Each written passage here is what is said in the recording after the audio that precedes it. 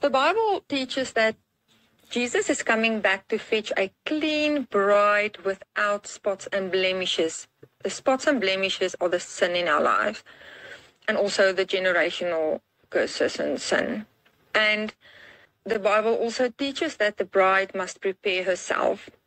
Ephesians 5:27 He did this to present her to himself as a glorious church without a spot or wrinkle or any other blemish Instead, she will be holy and without fault. And 2 Peter 3 verse 14.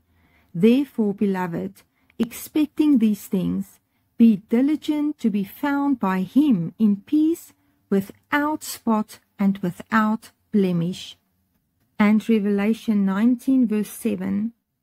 Let us rejoice and be glad and give him glory, for the wedding of the Lamb has come and his bride has made herself ready. So, with the rapture, Jesus is only coming for those who qualified as his bride, those who allowed the Lord to take them through the wilderness, take them through the seasons of cleansing, purification, sanctification, really allowed the Lord to purify them and strip them from everything so that they can stand before him when he comes back without spots and blemishes. Only those people are going to be raptured.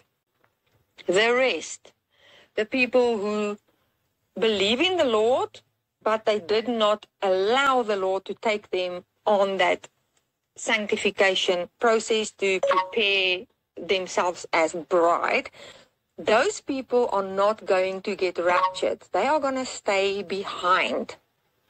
And I always say, if you are one of those people, you are better off dying before the rapture because then you are like the guy on the cross who gave his heart to Jesus and Jesus said to him, You will be with me in paradise today.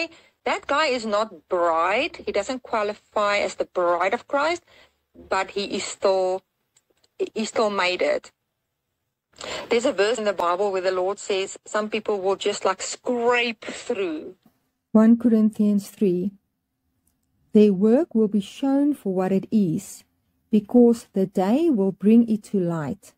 It will be revealed with fire, and the fire will test the quality of each person's work. If what has been built survives, the builder will receive a reward. If it is burned up, the builder will suffer loss, but yet will be saved, even though only as one escaping through the flames. And then in Revelation, it also says that the bride of Christ will be on a higher level with higher authority in heaven. They will also sit on the throne with Jesus, where Jesus sits on the throne with the Father. But the other people, the ones who did not qualify as bride, but they scraped through, they do not have the privilege to sit on the throne with Jesus. They are going to stand in front of the throne. So they have a lower level in heaven, but at least they made it. Revelation 3, verse 21. To him who overcomes, I will grant to sit with me on my throne, as I also overcame and sat down with my Father on his throne. And then in Revelation 7, it speaks about the ones who did not qualify to sit on the throne with Jesus. Let's read it. Then one of the elders asked me, These in white robes, who are they? and where did they come from? I answered, Sir, you know. And he said, These are they who have come out of the great tribulation. They have washed their robes and made them white in the blood of the Lamb. Therefore, they are before the throne of God and serve him day and night in his temple. And he who sits on the throne will shelter them with his presence. Okay, to get back to the people who will not get raptured. Now the rapture takes place, the bride of Christ gets raptured, and the other people who are still alive, who believe in the Lord, but they never qualified as bride. They stay behind. They now have to go through the tribulation period and sacrifice their lives. Um, their heads will be cut off in order for them then to make heaven. And this is another thing our churches just don't teach people, which is so frustrating because there will be so many people not making the rapture because the pastors tell them, no, you've prayed a little prayer, Jesus, please come into my heart, so you're fine.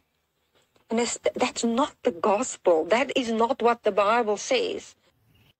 In the Bible, the Lord says that he will not come back until the time of the Gentiles has been fulfilled. Romans 11:25 But what it means is everyone who must still come into the kingdom of God and be prepared as the bride of Christ will come in and will have their season of preparation before Jesus will return. So Jesus' timeline or the Father's timeline rather for Jesus to return is perfect. Jesus will return when the time is right, when everybody who must be in the kingdom is in the kingdom and they are ready for Jesus with their spotless bridal gown on.